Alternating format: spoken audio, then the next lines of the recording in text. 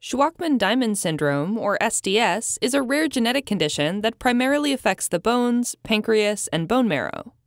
Most cases result from alterations in the SBDS gene, which affects the assembly of cell organelles called ribosomes. Ribosomes are essential to maintain cell function, and in SDS, ribosomal function is altered, causing changes in multiple body systems.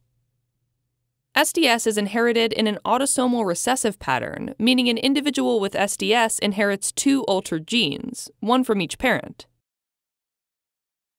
Now, signs and symptoms of SDS are variable.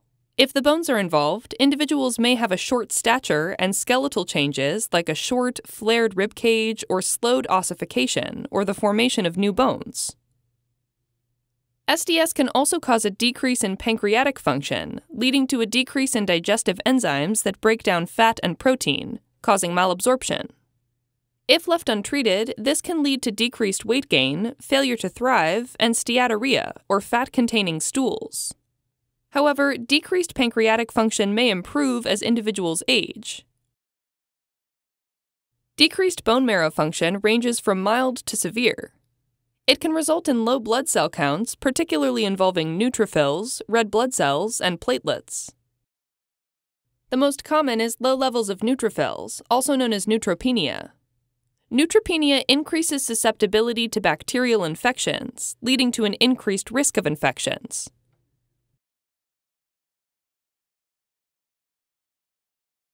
Low red blood cell counts, or anemia, can cause fatigue, pallor, and shortness of breath.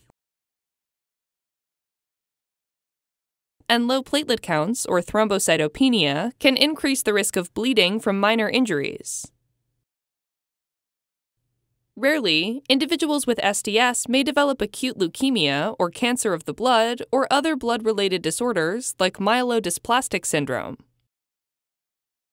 Diagnosis of SDS is suspected in individuals with symptoms of decreased pancreatic and bone marrow function. Laboratory tests involve a complete blood count, pancreatic enzyme levels, and a blood smear. Additionally, a bone marrow biopsy, which involves removing a small amount of bone filled with marrow for analysis, may be performed to rule out other conditions. In suspected cases, confirmation can be done through genetic testing. Now, treatment of SDS is individualized and provided by an interdisciplinary team, Skeletal changes are typically monitored as individuals grow and, if needed, may require orthopedic interventions to prevent complications. For decreased pancreatic function, vitamin supplementation, extra caloric intake, and oral replacement of pancreatic enzymes can help boost nutrition and increase absorption of nutrients to support growth and development. Growth and development will be monitored routinely, with most individuals reaching anticipated developmental milestones. For decreased bone marrow function, mild changes can be monitored with routine lab work to identify early changes that may need treatment. If neutropenia develops, preventative measures against infections should be initiated, like meticulous hand hygiene and masking in public. If a bacterial infection develops, it can be treated with antibiotics. For severe or persistent neutropenia, individuals may be prescribed medications like granulocyte colony stimulating factors that stimulate bone marrow to produce more neutrophils. If severe anemia or thrombocytopenia develops, individuals may require a blood transfusion, and in rare cases, bone marrow transplantation may be done. Other interventions, like speech therapy and social services, can help individuals with SDS reach their goals while providing support.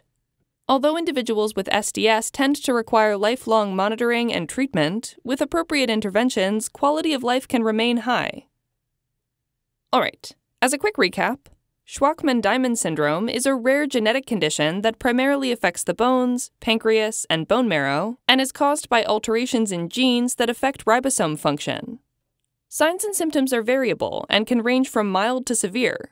Diagnosis can be confirmed with genetic testing, and treatment focuses on individualized, symptom specific monitoring and interventions.